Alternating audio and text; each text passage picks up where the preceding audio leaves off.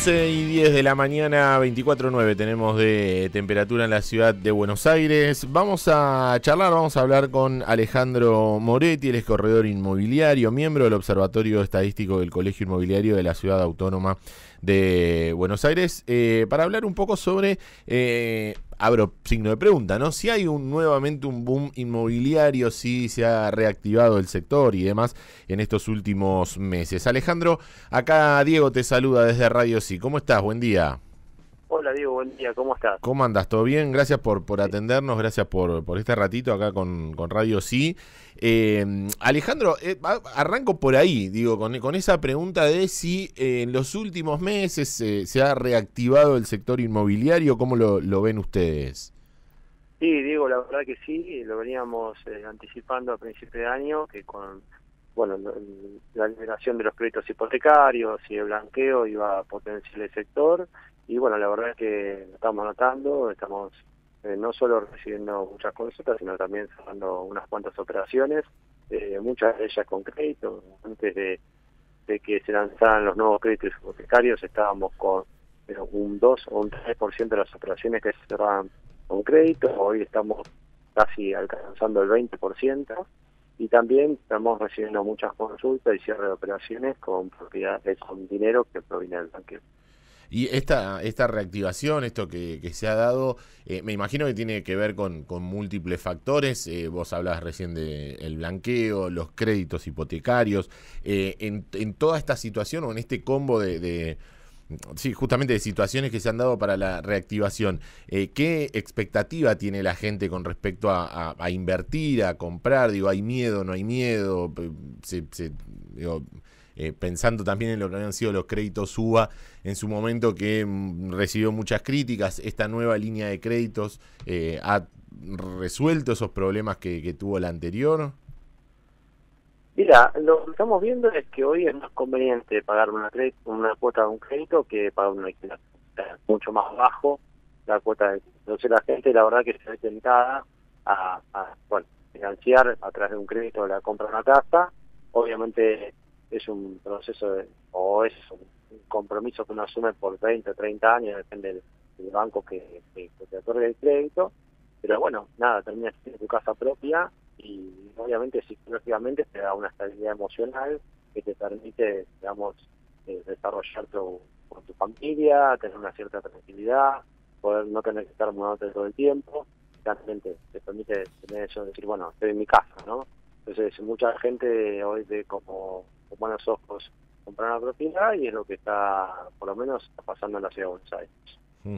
Y en relación, Alejandro, a los precios, ¿todo esto hizo que, suban un poco los precios de los departamentos, de las casas, o, en ese sentido se mantuvo?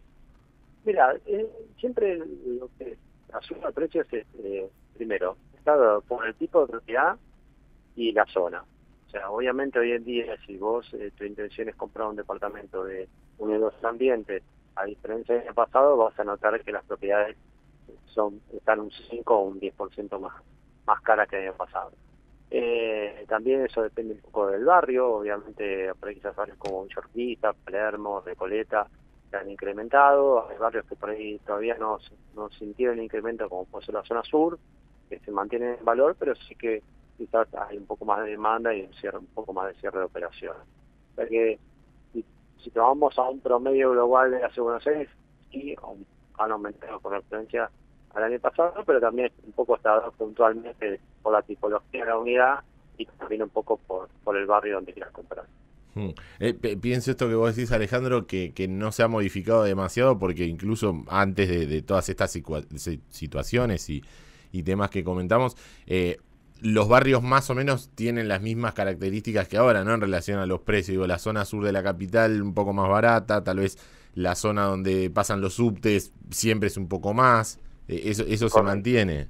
Sí, la movilidad, la seguridad, eh, bueno, la, eh, la cercanía a verde son los que terminan terminando el valor de la propiedad, ¿no? O sea, siempre la gente busca estar en un, lugar como vos dijiste bien, bien recién, el tema del subte, el tema de tener también espacios verdes, por ejemplo el lago de Palermo, que no la pueda esparcirse.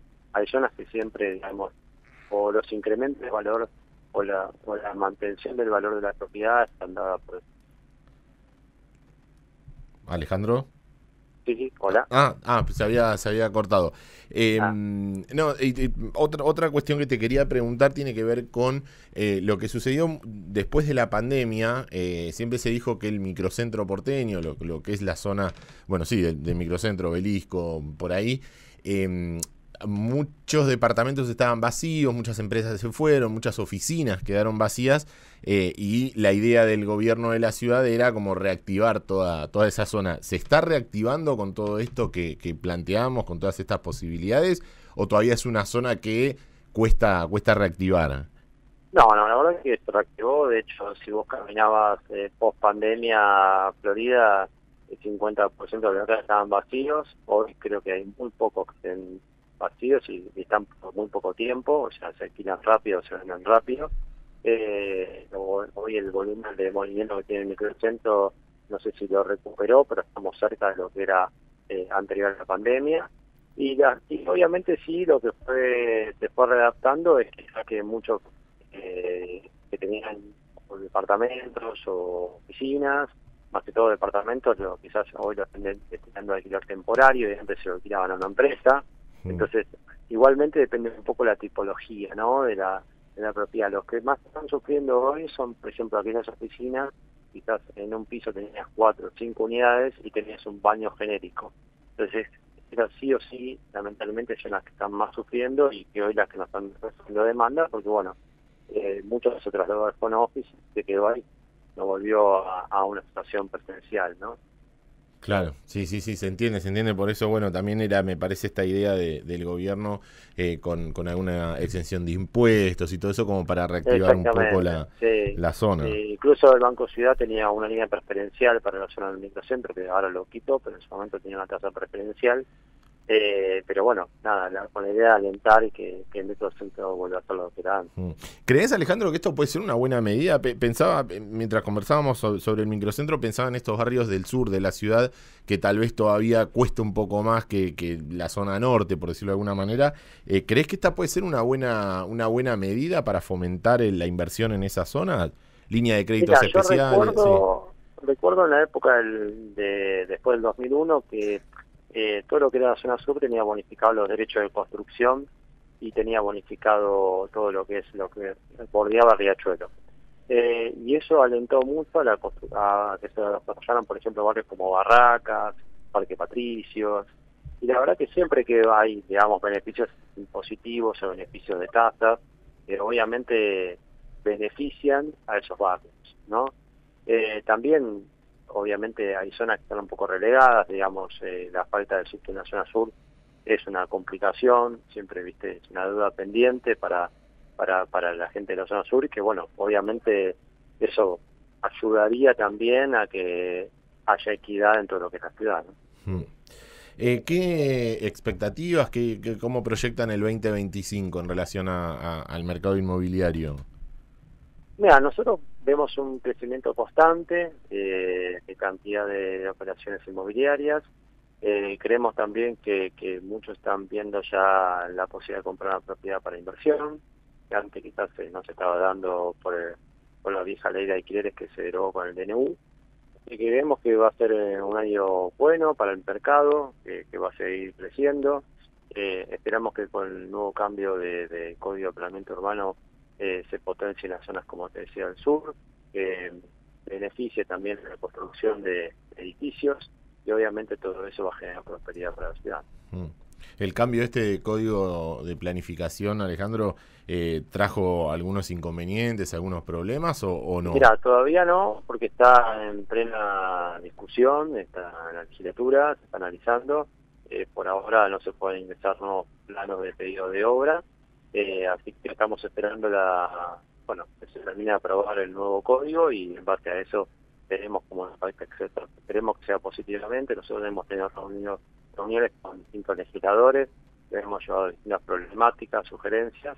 Bueno, esperemos que nos escuchen y, mm. bueno, tengamos un código acorde a los tiempos de ahora. Te consultaba justamente esto, Alejandro, porque tenía entendido también, digo, por, por, por, diferentes testimonios y demás, que se había medio paralizado el tema de, de, la construcción y todo eso, porque muchos estaban justamente esto, ¿no? Esperando a ver que, que salga el nuevo, el nuevo código. Sí, sí, sí, sí. O sea, están en la expectativa y, y bueno, de nada, lo importante es que, que sea una sociedad más equitativa, o sea, que tengamos una ciudad que, que digamos, que crezca por igual, que tengamos la, lo que el constructor o, digamos, tenga algún tipo de beneficio, la verdad que hoy no es fácil invertir en Argentina Hmm. y que se pueda dar necesidad de construir, porque eso obviamente le da trabajo a muchos sectores, no solo al, al sector inmobiliario, sino también a todo lo que es mano de obra, materiales, así que bueno, es importante que, que el código sea acorde a los tiempos actuales. Alejandro, te agradezco mucho este ratito con nosotros. Al Gracias por tu tiempo.